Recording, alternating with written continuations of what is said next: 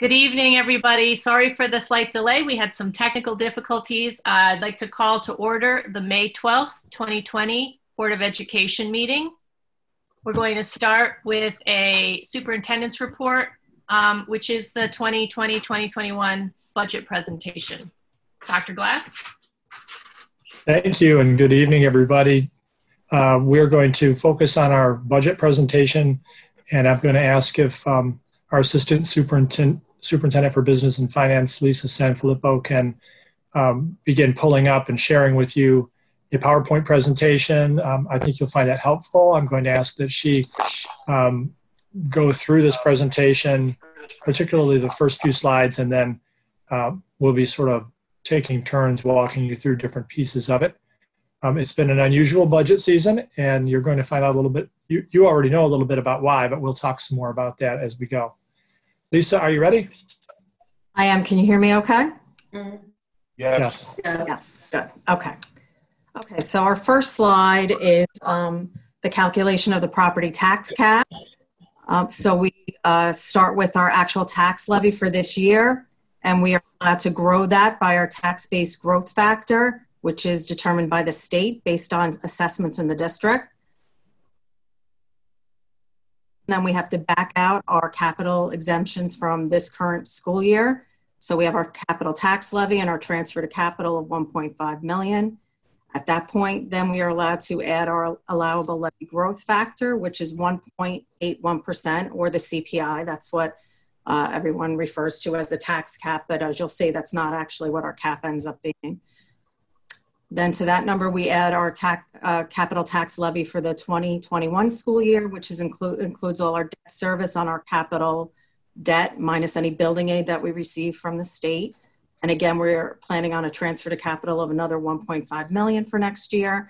And that brings us uh, down to our total levy, which we're allowed to levy for the 2021 school year. And that is a 1.78 increase over the current school year. And that is what is considered our tax cap. So the next slide shows the estimated tax rate impact of that tax levy increase. And um, if we start with a 1920 school tax bill, and you could see the, the various ass assessed values across the top, the average in the Eastchester School District is $8,900 for, um, for home in Eastchester. So if when we apply that increase, we would come to a, um, an annual projected increase of $241 for a school tax bill. And just to note that this does not include any star exemptions. And it also assumes that there's no change in assessed value total in the district so that we can truly see the impact of this tax levy increase on your tax bill. Now, your tax bill will no doubt be impacted by any changes in overall assessed value, but um, that doesn't change what this impact would be to your tax rate. So the next slide is um, where we are in terms of estimated revenue for the 2021 school year right now. And we anticipate that this is going to change. Um, some of the items that we're taking a big hit for next year are highlighted in yellow here. And uh, we'll go through those a little more in detail on the next slide. So one of our big um, revenue boosts last year was the increase in the county uh, sales tax rate, which we were very excited about, but um, now we believe that in light of the circumstances that our sales tax revenue is probably not going to be what we were hoping it would be. So um, we were originally projecting 1.6 million in sales tax revenue for next year. We're taking that down right now um, by $300,000. So we're showing 1.3 million in sales tax revenue. Although we did receive our first quarter for this year and it did remain unchanged, which was positive. We were anticipating something less, but understanding that it was not reflective of what's going on right now. It was only through March 31st. Um, interest and earnings in the short term, we are estimating that interest is going to remain pretty close to zero for probably at least half of next school year. Uh, while we don't anticipate it's going to be at zero for the entire school year, that number's been taken down quite a bit. In terms of state aid, um, the state is giving us a budget revision. So we hear on Friday, on May 15th, and this is going to be based on um, April revenues for the state as of um, April 30th. So we will likely see some sort of reduction in state aid on, um, on Friday. So we're waiting to see what that number is going to be. However, we, oh, let me, I'm sorry. Um, we are anticipating that any revenue shortfall that we may incur for next year will be, um, we'll be able to cover that with surplus funds that we generated this year um, based on the current year closure. Obviously, we have, ex- we're going to put that money into our fund balance and carry it over to next year.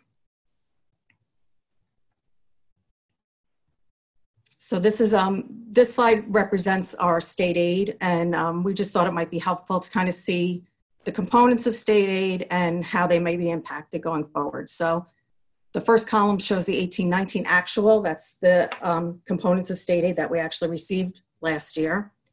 Um, as of April 1st, when the state budget was adopted, the blue column shows what we're projecting for this current school year, and the green column shows what was passed, what the budget that was enacted for next school year.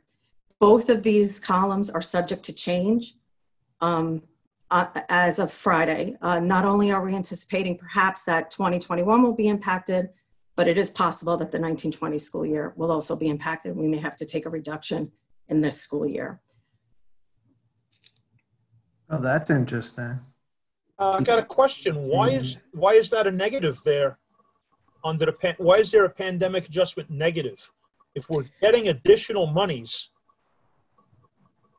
So the governor, when when they enacted the budget, um, at that point, if you see the bottom line, federal cares restoration. yeah, Basically, he was saying the money at that point they had passed the Federal Cares Restoration Act, so that money is what's making us whole. He made he took this pandemic adjustment and is replacing it with the federal money. So you mean you're telling me that he turned around and he said he asked the federal government for help. When they gave the help, he lowered the state help, the Yes. equal an equal amount. Yes. Yes. That's ridiculous. What do How you can think? the guy go on television and, and you know ask the federal government? Does that mean if the federal government gives us more help, we're going to lose more aid? Yeah, Well, that's exactly what it means. the, right. stupid. So if he cuts, let's say, a million dollars from us, his e- expectation is that the federal government will restore that million dollars.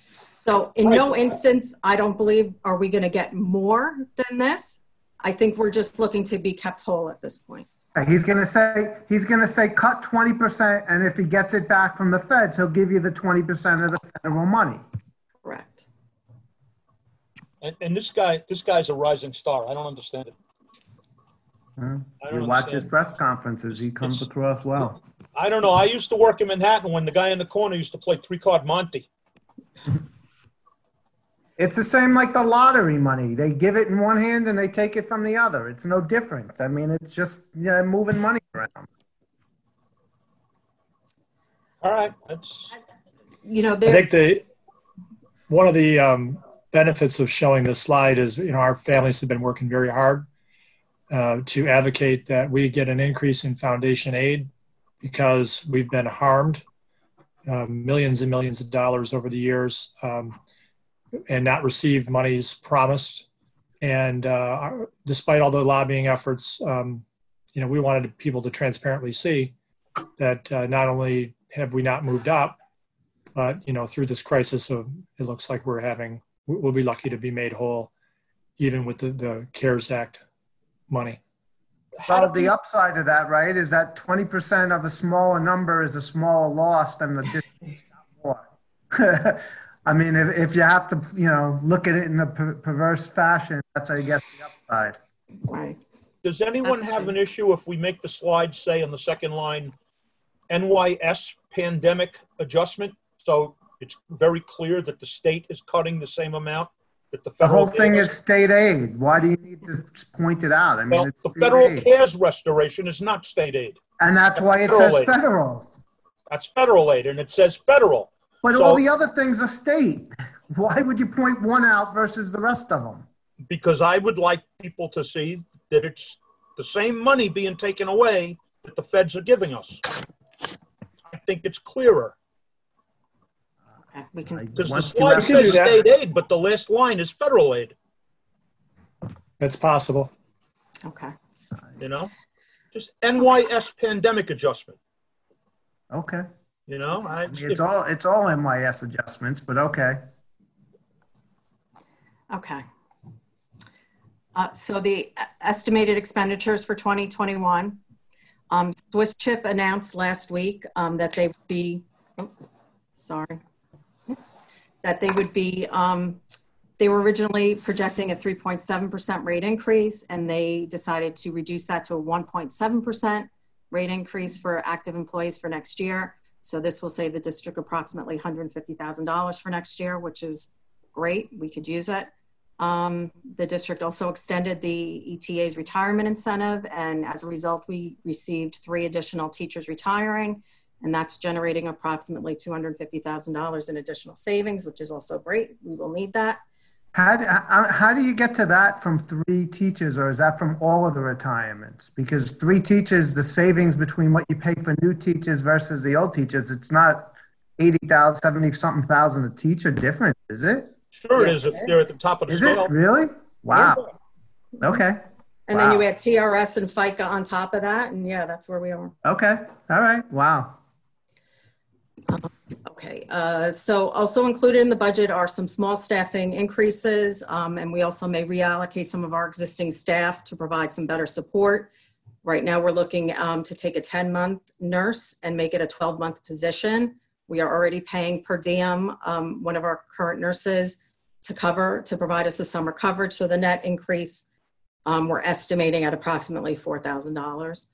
Um, we are including a 0.2 increase in special education at the high school. That's approximately a $17,000 increase. Um, and we put as a placeholder in the budget for security enhancements for next year, it's a $65,000 increase. Um, not exactly sure we will be using that money at this point, but um, it could be in a variety of different ways, but we just needed a placeholder in the budget for that for next year.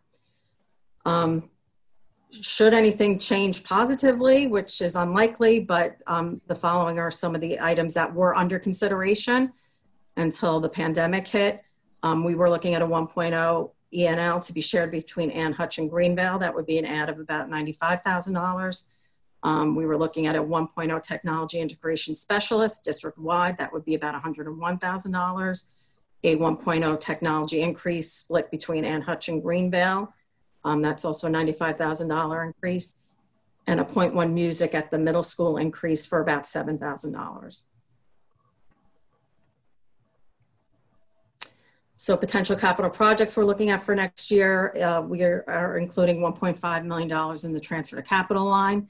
We are looking to do roof replacement at the high school and middle school. We have um, good number of roofs there that haven't been replaced in a long time and are currently leaking over the middle school gym, for example. Um, and if there are any funds left over, we would use that to um, address other projects identified in our five-year capital plan. So the next steps, what we're waiting for is Friday. Um, we are, we have been told that we will receive the budget revision on Friday. Therefore, we have scheduled our budget adoption to be on um, Tuesday, May 19th, where we can make any adjustments if necessary after the May 15th budget revision. And our budget, uh, public budget hearing is scheduled for May 27th at 8 p.m., another virtual meeting. The budget vote and trustee election is by executive order this year to be moved to June 9th. It's by 100% absentee ballot only, no in-person polling locations. However, we will set up a drop box in front of the district office. If people do not feel comfortable or if there's not enough time to put their, um, their vote in the mail, they may come by the district office and place it in a drop box that we'll have out front. Um, ballots must be received by 5 p.m. on June 9th to be counted. We, it doesn't matter if they come in the next day, they were postmarked, we, they have to be in our hands by 5 p.m. on June 9th. So that's it. Any questions? Will this um, PowerPoint be put up on the district website? Yes, it, right now it's up on board docs, so people can access it there, but we will put it on the website as well. Great, thank you. And just a note about the um, security enhancements that that you're sort of looking into that right now and working with Alteris to sort of identify the areas of greatest need, correct? And that's why it's Correct. Ah. Since, yes, we've been, we've pulled together a, uh, a, uh, an emergency uh, management team um, across the district for the first time, really unifying all of the uh, building level teams and looking at a uh, list of prioritized action items. And as part of that, we were doing a review, having Altaris do a review of current staffing and uh, making and and just looking at the overall system. And uh, we're looking in very short order for them to make uh, some recommendations as to whether we have you know the right levels of staffing and and what might need to be done or other other things that could be helpful that we're not currently doing so it's um, we're looking for those recommendations uh, from our professionals and uh, they will guide the use of that placeholder that we have there Great. Thank you. And thanks, Mhm. Lisa. thank you lisa Thank you. Lisa's been terrific uh, navigating this. She stays really well connected politically and really well connected to um, colleagues in the region. And because of that, whenever we get information that is, uh, it's been, I mean, information in this arena has been hitting us hard and fast. It's just been coming like, you know, daily and weekly, uh, you know, through executive orders or through, um, you know channels at the state level filtering down through our legislators and so forth and she's uh, able to get to the to the heart of the matter and really uh, help us all be able to make good decisions um, in real time so really appreciate lisa's um, great attention to detail and and this has been a challenging season so thank you lisa You're welcome. Great. Okay. Moving on, um, be it resolved that the Board of Education approves the minutes of the April 21st, 2020 meeting. Um, all in favor? Aye. Any opposed? Aye. Do you need a second or? Oh, I'm sorry. I do need I'll a second. second it. Thank I'll you. second it. Questions or discussion? Mhm. All in favor? Aye. Aye. Any opposed? No, okay. It's a unanimous vote. Um, Be it resolved that upon the recommendation of the superintendent of schools, the Board of Education approves the personnel agenda as attached. Can I have a second? I'll second. Second. Thanks, Vito. Um, Discussion, questions? I got a question. Uh, I'm going to ask that we could vote on the retirement incentive separately uh, because I'm not in favor of that. Never are. Uh, I think the people would retire anyway. We're just giving money away. Well, so we're not voting on an incentive. we are, vo- uh, we're just voting on Yeah. approving their retirement. Yeah. Just pull it out. I, I, I'll second his motion to pull it out and vote on it separately. Any questions or discussion? All in favor of voting on the retirements of the personnel agenda separately? Oh, you don't, you don't have to vote on that. You- We don't? Okay. No.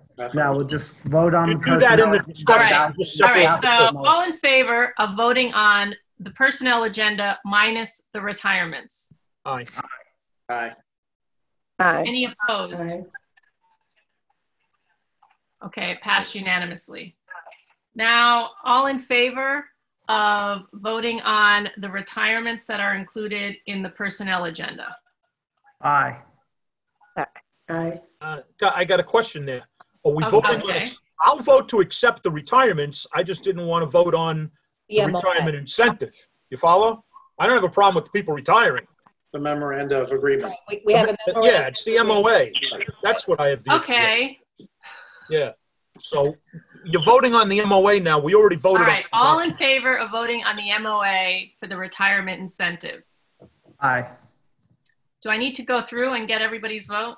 All in favor? No, I mean, I think the only one nay is Vito. And I'm, I'm a nay. Two, I'm a nay. Well, I only saw three hands go up. This could be All some. in favor? Aye. Aye. All opposed?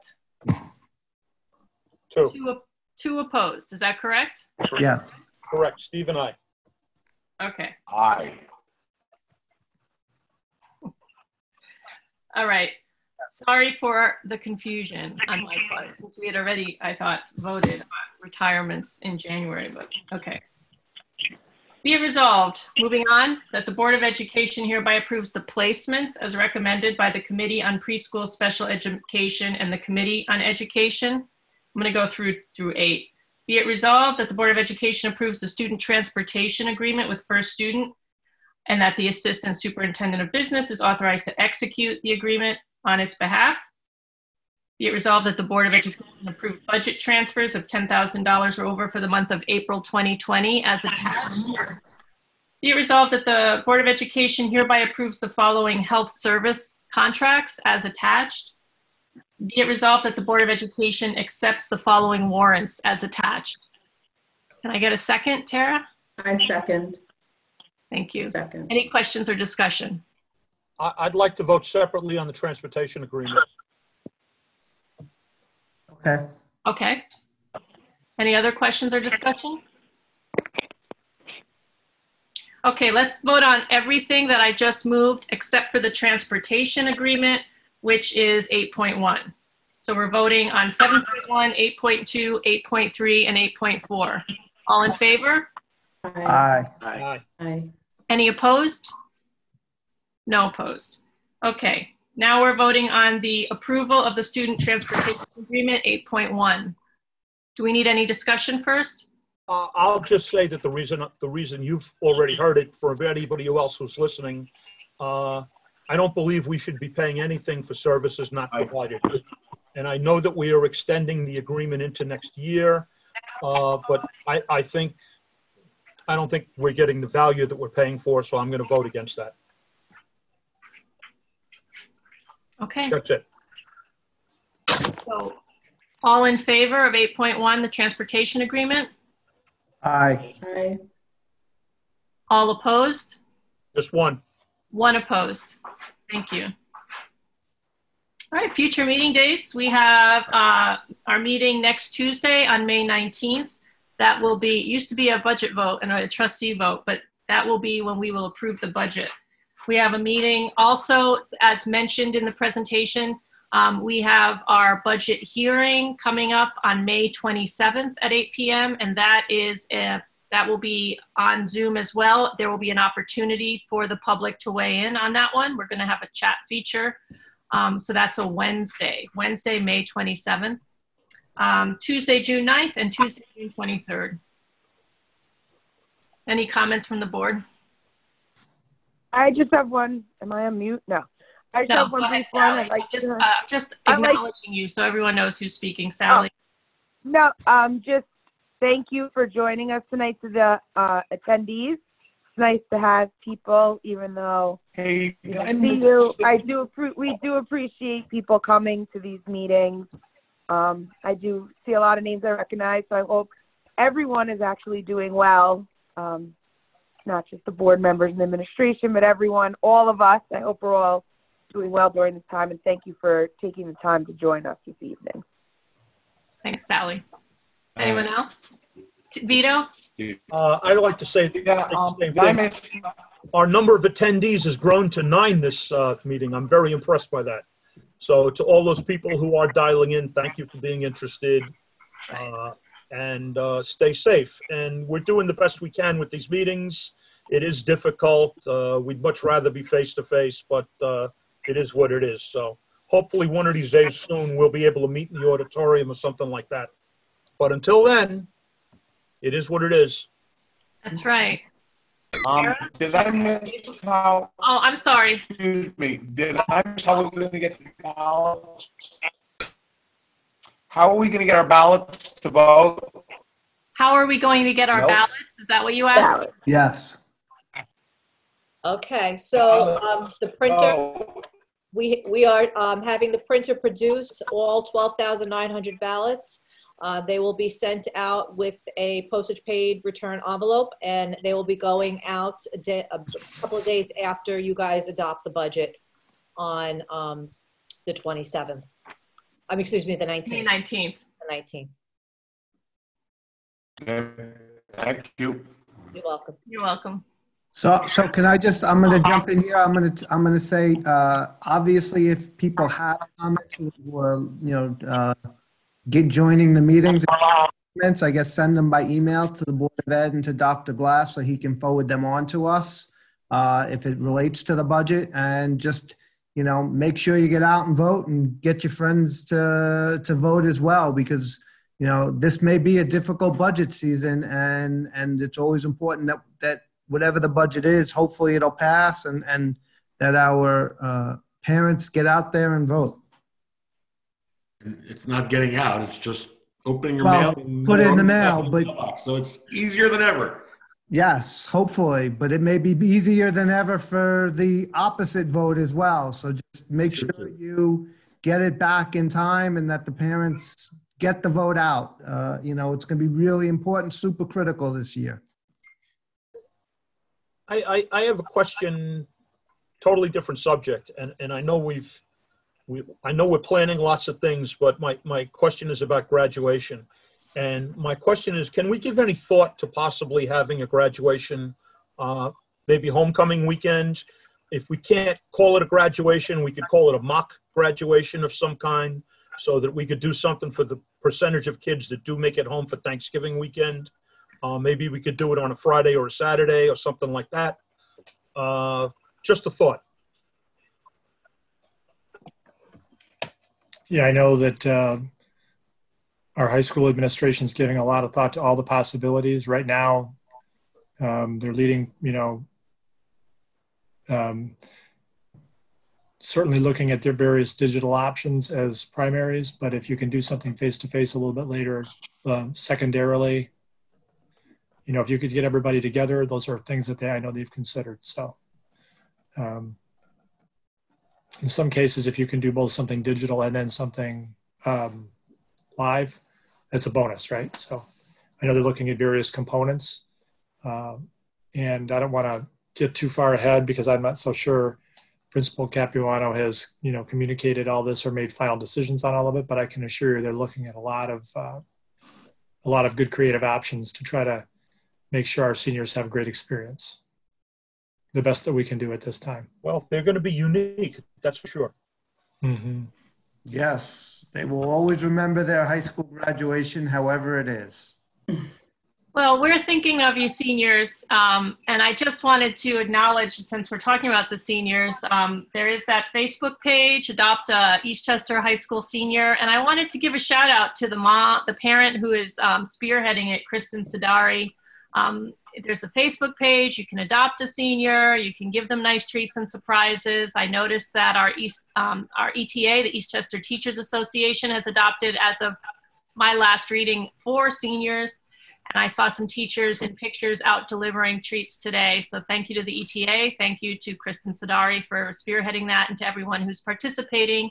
And if you want more information about how to get your senior listed um, or how to adopt a senior, um, you know, look on the Facebook page, look on the, I think the Eastchester, the high school PTA sent out information, or you can even, you know, email the Board of Ed and I'll, I'll, I'll hook you up with that information if you want to get involved. But thank you to everyone who's doing that. And if you need a, a mood booster, look to the, look on the Eastchester, um, look at the Adopt an Eastchester Senior on the, the page on Facebook and you'll see all the seniors getting their treats and having their spirits lifted in the middle of AP exams. And it's kind of, it's really nice to see.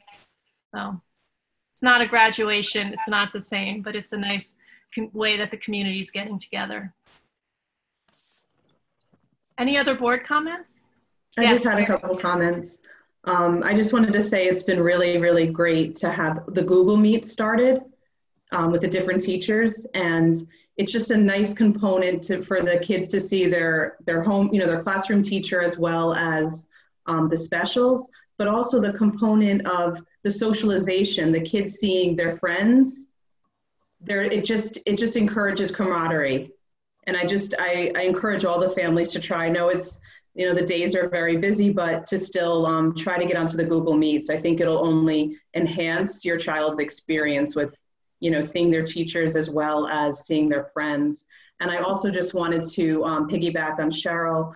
Um, i also encourage regarding the adopt a senior program. Um, kristen sadari has been very very awesome as far as communicating. And i've adopted brendan murray who's one of our cameramen for the Board of Ed, and he also works for me through City of Yonkers. So I'm excited about this new journey too, and um, I just think it would be great for the community to be involved and to, to adopt a senior if they can.